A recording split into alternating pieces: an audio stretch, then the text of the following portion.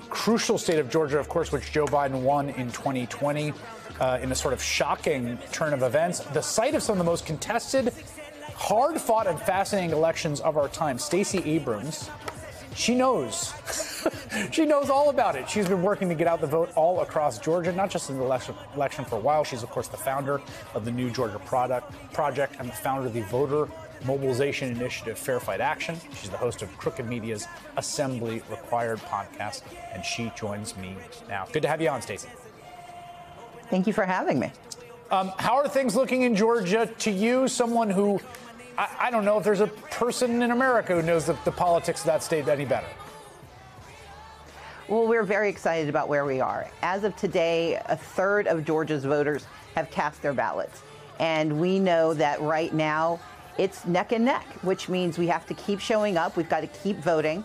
But we also have to remember to reach out to our friends and our families who aren't sure if not between voting for Vice President Harris and former President Trump, but whether they should vote or not. And this speech, this moment, is the reminder of why the affirmative of voting is so important. Because it's not simply about who you like, it's about what they will do for you. And what Kamala Harris laid out means so much in the state of Georgia, a state where we have the sandwich generation taking care of kids and of parents, where we do not have Medicaid expansion. And so healthcare costs mm. are so high.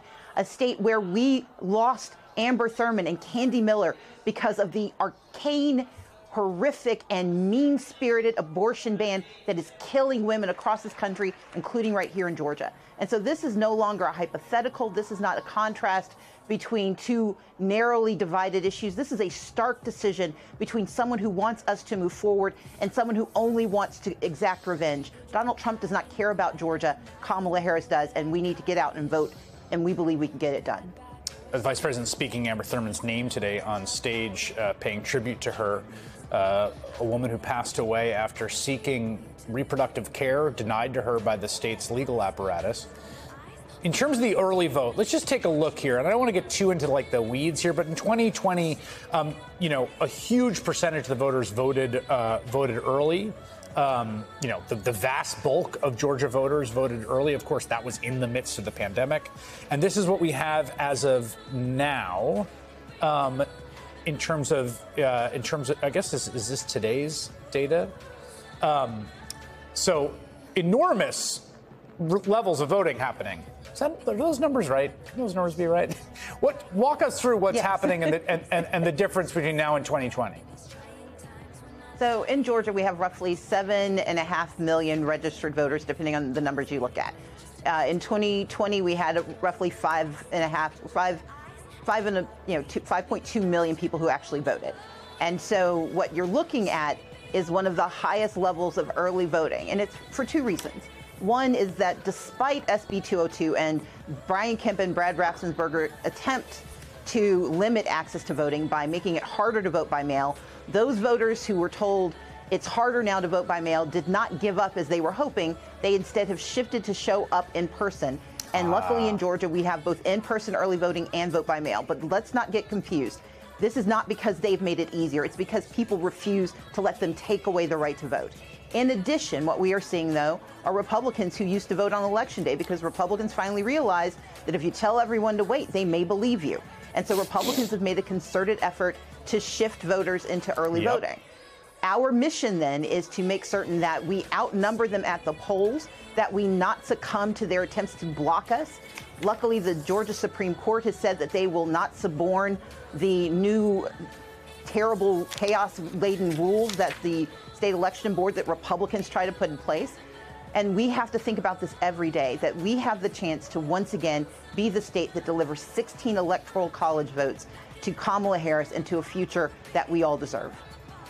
Yeah, that, that, that, that was a useful explanation of, of what's going on with the early voting. One of the things is making any kind of analysis of these early votes, apples to apples, impossible, is are those two things, right? You had the pandemic in 2020, which totally changed the landscape, and now you you and you had this weird polarization happening around voting method, driven by Donald Trump's delusional fantasies and lies, and now you have more and more people voting early, you know, not in some ideologically sorted way, which of course never made any sense to to, to begin with.